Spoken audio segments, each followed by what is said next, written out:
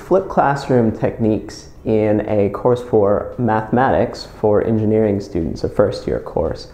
And previously, this course had involved some large lectures, two or three or sometimes 400 students all at once meeting twice a week.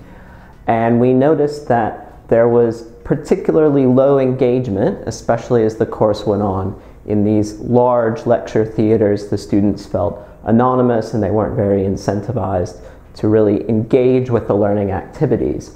So, what we wanted to do is we wanted to move the aspects of the lecture that didn't really involve any interaction into um, an online environment. So, what we flipped in this case was the kind of fact aspect of the lectures. We flipped nearly all of the lectures onto videos.